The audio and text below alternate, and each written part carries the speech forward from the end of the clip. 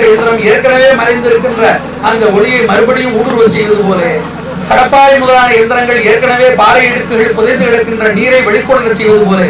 ஏற்கனவே இடர்பாடுகளுக்கு அடியிலே தளங்களுக்கு இடையில் மறைந்து கிடக்கின்ற ஏற்கனவே உள்ள ஆட்களை இது போன்றுள்ளவை சாணை நீட்டி இடர்பாடுகளை நீக்கி கசடு களைந்து மாசு நீக்கி உள்ளொரு பெருக்கி தன் திறத்தை எற்றோருக்கு வழங்கி நிலை விளக்கம் என்பார்கள் தன்னிலை விளக்கம் அப்படின்னு சொல்லக்கூடிய அந்த முழுமையிலே உண்டாக்கி தருகின்றன.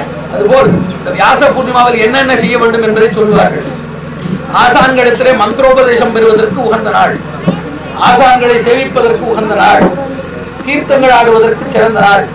சன்னியாசிகள் நான்கு மாதங்கள் இந்த மாறி காலத்திலே தான் உயிரினங்கள் உற்பத்தி ஆகின்றன கிருமிகள் உற்பத்தியாவதும் உயிரினங்களின் உற்பத்தியும் உலகத்தின் கண் ஊக்க ஆக்க சக்திகள் உலகியல் ஆற்றல்கள் எல்லாம் விழுகின்ற மாதங்கள் இந்த நான்கு மாதங்கள்.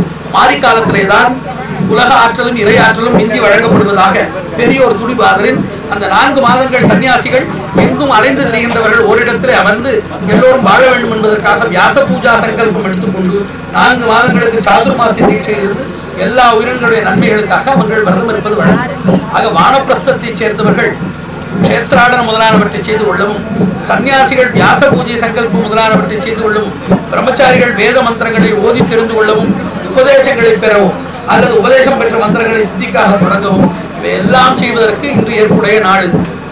ஆக யாருக்கு எது ஏற்புடையது என்று இருக்கிறது ஒருவன் விவசாயம் வைத்துக் கொண்டிருந்தால் அவனுக்கு மழை பெய்வதனாலே நன்மை உண்டு.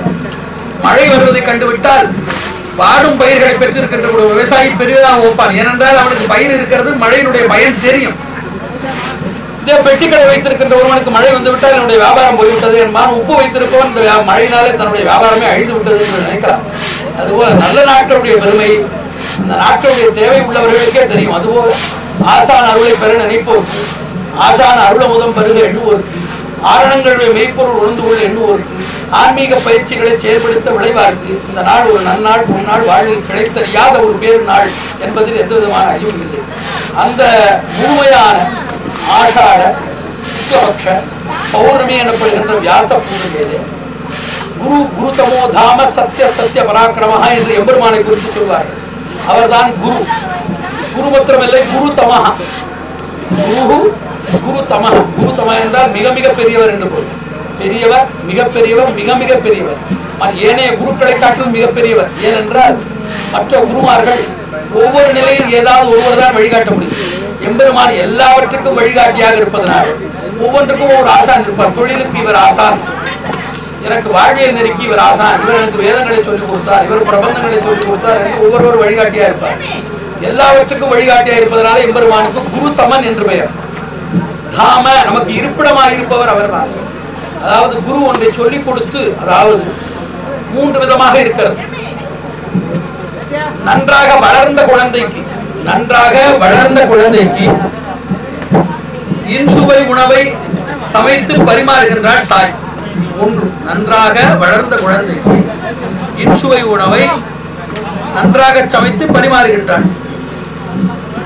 மிகவும் சிறிய குழந்தைக்கு மிகவும் சிறிய குழந்தைக்கு தானே சமைத்து தன்னுடைய கையினாலே பிசைந்து அந்த உணவை ஊட்டுகிறாள் அதைவிட சிறிய குழந்தைக்கு பால் உண்ணுகின்ற குழந்தைக்கு அந்த குழந்தைக்கு ஏதேனும் மருந்து உண்ண கொடுக்க வேண்டும் என்றால் அது பச்சிளம் குழந்தையினாலே அந்த மருந்தினுடைய வேகம் அதற்கு கேடு விளைவிக்கும் என்பதனால் அந்த மருந்தை தான் உண்டு.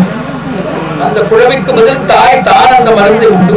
தன்னுடைய பால் வழியாக அந்த குழந்தைக்கு கொடுத்து கரை சேர்க்கும் இது தாயினுடைய தாய்மையில் தாய்மை பெருந்தாய்மை நற்பெருந்தாய்மை என்று பெரியோர் பகர்ந்து வளர்ந்த குழந்தைக்கு அன்புடன் உணவு கிடைக்கின்ற தாய் வளராத குழந்தைக்கு அதே உணவை மசித்து வாயிலை ஊட்டுகிறாள். அதை விட சிறு குழந்தையாக இருப்பவருக்கு அந்த உணவை தான் உண்டு.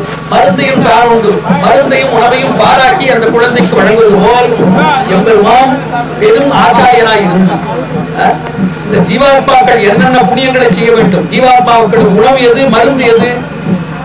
ஜீவாத்மாக்களுக்கு உணவாய் இருப்பது ஸ்வரூப ஞானம் என்றிருக்கின்ற பேரறிவு. ஜீவாத்மாக்களுக்கு மருந்தாய் இருப்பது எது?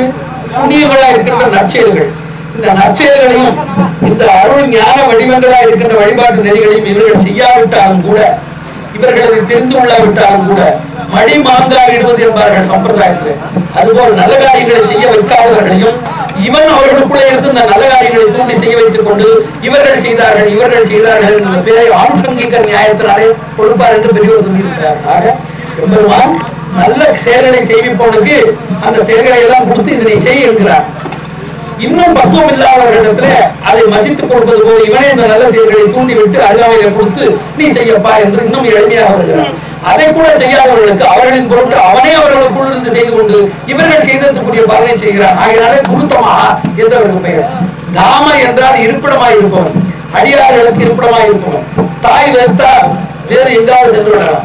இந்த நிலத்தாய் வெறுத்தால் வேறு யார் மணிக்கு செல்ல முடியும் என்று ஒரு கேள்வி இருக்கிறது அல்லவா?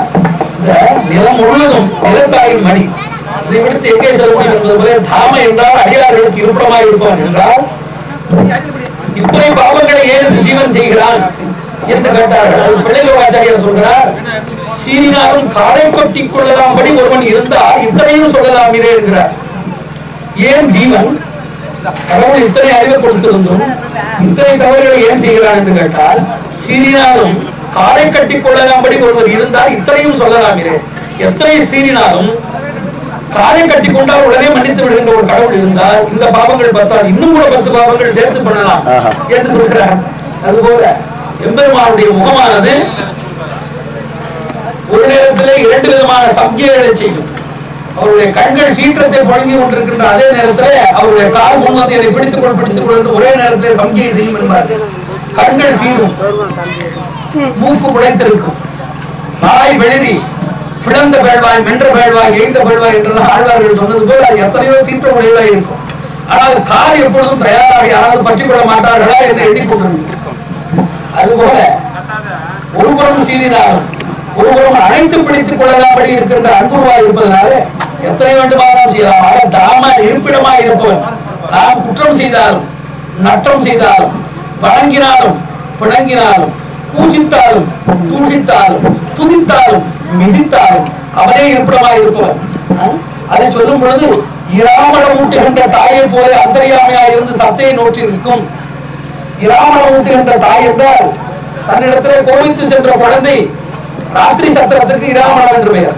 இந்த இராமணத்திலே அந்த குழந்தை கோவித்து கொண்டு தூங்கி கொண்டிருக்கும். அப்பொழுது நேரடியாக தன்னுடைய கையிலே கொடுத்த அந்த குழந்தை உண்ணாது என்று சொல்லி மறைந்திருந்து அவருடைய நண்பன் மூலமாக ப- பொருளோ அல்லது உணவோ கொடுத்து அவன் மூலமாக சாப்பிட வைத்தால் அவன் வெட்டி ரோஷத்தோடு என் வீட்டிலிருந்து வந்தா நான் சாப்பிட மாட்டேன். நீ சொல்வதனால நான் செய்கிறேன். என்று சொல்லி அவனுடைய தாய் கொடுத்த அந்த உணவை அவன் சாப்பிட்டு கொண்டிருப்பான். அதுபோல தன்னை தேடாது வணங்காது தன்னோடு தூஷித்து முகம் கோடி பிணங்கி இருக்கின்றவர்களுக்கு கூட உள்ளுரை பொருளாக இருந்து அவருடைய நண்பர்கள் உறவினர்கள் இப்படி பலவிதமான வியாஜங்களோடு கூடியவராய் அவர்களின் மூலமாக தன்னை வணங்காதவர்களுக்கும் உணவளித்து அவர்களை போஷிப்பது பகவானுடைய திறமாகினாலே இவர் நட்டோ இவர் பகைவர் என்றுண்டோ தேவானாம் தாவமானாம் சாமானியம் அதி தெய்வத்தம் என்று சொல்கின்றபடி எல்லோருக்கும் இருப்பிடமாய் இருப்பவன் சத்திய சத்திய பராக்கிரம அடியார்களிடத்திலே மெய்மையாய் இருப்பவன் மனிதன் என்ன செய்வான் என்றால் ஒரு கன்றை இறந்து விட்ட கன்றினுடைய தோளில வைக்கோலை வைத்து மூடி அதை இந்த தாய் பசுவுக்கு காட்டி பாதுகாப்பது உண்டு. அதை பெரியவாச்சான் பிள்ளை மிக அழகாக சொல்கிறார் மிக மிக அழகாக சொல்கிறார் இப்ப ஆழ்வாருடைய பாசுரங்களை எல்லாம் நாம் சொல்லுகிறோமே பெரிய மகான்களுடைய சோத்திரங்களை நாம் சொல்கிறோமே இதனால் எம்பெருமானுக்கு பீஷ்மர் சொன்னதை நாம் சொன்னால் பலன் கொடுக்குமா? சுண்ணக்குடி வைத்தியநாதனுடைய வயலினை நாம் திருடி கொண்டு வந்து விட்டால் மறுநாள் மியூசிக் அகாடமியில் சங்கீத கலாநிதி பெற முடியுமா? என்பது போல பீஷ்மர் துரோணர் இப்படி தர்மபுத்திரர் இப்படி ஆழ்வார்கள் இப்படி இருக்கின்ற பெரிய மகான்களுடைய வார்த்தையை கிழிப்பிடை போல சொல்வதாக நமக்கு பலன் உண்டா என்று கேட்டால் தோல்